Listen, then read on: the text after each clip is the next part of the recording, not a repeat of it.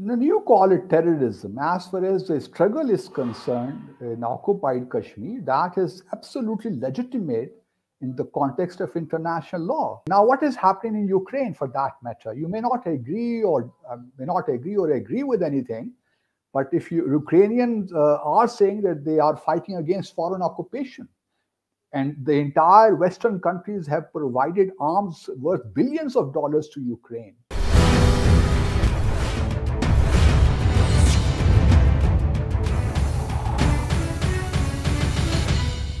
I remember that India had provided an entire dossier to Pakistan at the time of Pulwama. Uh, also, that you know that these these are the problems. These this is this this is the evidence that you are sponsoring terror in the valley. And let's look at the recent Poonch attack. Um, you ju- in fact you uh, sort of justified uh, the Poonch attack uh, as legitimate, saying that only the military was attacked and not civilians. So therefore, it's not an uh, it's okay uh, the Poonch attack. There five soldiers died, five Indian soldiers died. Mm-hmm. Now, is it not an overt support to terrorism in Jammu and Kashmir then, what you said? No, you call it terrorism. As far as the struggle is concerned in occupied Kashmir, that is absolutely legitimate in the context of international law. There are, I mean, I will refer you, I mean, there's a resolution, uh, number 3314. If you go through that resolution, that uh, fully justifies even armed struggle against foreign occupation.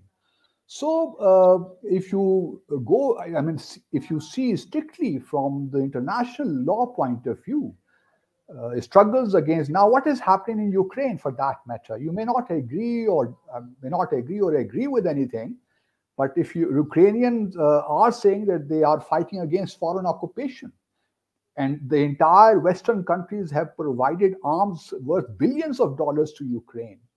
So, foreign occupation, from our perspective, uh, uh, since uh, Kashmiris are occupied by a foreign country, their struggle is absolutely legitimate so long as they are targeting yes, but that's the military. Whole, that is the whole. That is the whole point. That if these were whether these were normal Kashmiris, whether these were terrorists from across the border, we don't know. And I'm sure uh, there there are there are there are, and it's not just the it's there might Kashmiris might might be involved. When some Kashmiris might be involved who are living in the valley, but it's mostly from across the border that's coming, and that is the sticking point.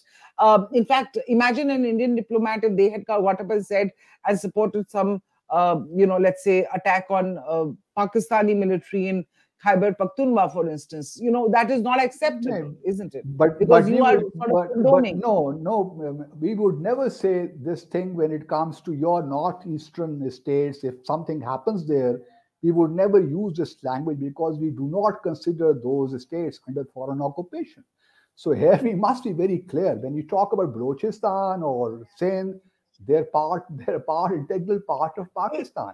And when that is exactly what I'm saying. For us, the, for us, Kashmir is a part but, of India. But, so but the question, this is a zero sum game then. But no, it's not a zero sum game. You know, we we should be very clear. Pakistan and India have been talking about Kashmir now for decades, frankly speaking. And you would agree with me that uh, both Pakistan and India agreed to resolve this long standing issue through dialogue.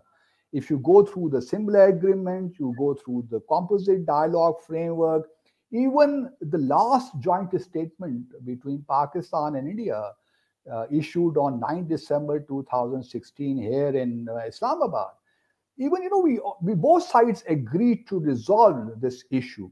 Now, if you you are India, in my view, uh, has is is is is adopting a kind of inherently contradictory position on the one hand say you uh, you say that pakistan does not have any locus standi it's an integral part of india we would never discuss kashmir then why we have been wasting our time for the last 50 years since the Simla agreement was signed and we have been discussing the jammu and kashmir dispute I, I am not cont- contesting here. You would immediately respond to me by saying that we are discussing quote unquote Pakistan occupied Kashmir, Gilgit Baltistan.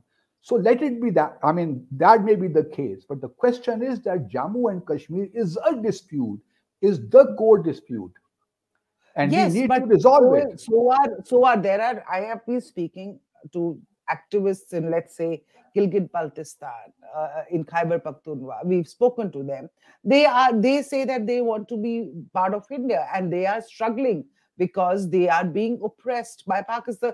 It's the same logic that you are applying for uh, for Jammu and Kashmir. In fact, very, in fact very, uh, why should Pakistan support terror in Kashmir? That's my question. When very nice people are dying every very- day because of terrorist attacks in Balochistan, in Khyber Pakhtunkhwa. Very, very nice to hear this that the people of Gilgit Baltistan want to join India, even people in Azad Jammu and Kashmir want to join India. Then all the more reason for India to agree to holding a plebiscite in the entire Jammu and Kashmir state because if people here want to join India, so it's the best solution. Uh, but why India is reluctant to go down that route? It is incomprehensible in my view. On the one hand, you claim Because, because the UN Security Council, as I, we just spoke about that, sir, that the first condition, the preconditions for plebiscite, which is withdrawal, complete withdrawal of Pakistani troops from that region, uh, you know, uh, complete uh, uh, removal of the of the troops from that region. That is that is the key, and that that But first that- condition was never met. Even if it was, But- you're saying that it was toned down, and even if But that can even, but that can happen even today, provided India is willing to discuss Jammu and Kashmir under the auspices of the UN and in accordance with the template, which has been which was established, you know, since 1947 till 1957. The question is: Is India ready to seriously discuss and settle this problem? My view is that India uses the dialogue or the engagement process to buy time, to prevaricate, to procrastinate on Kashmir.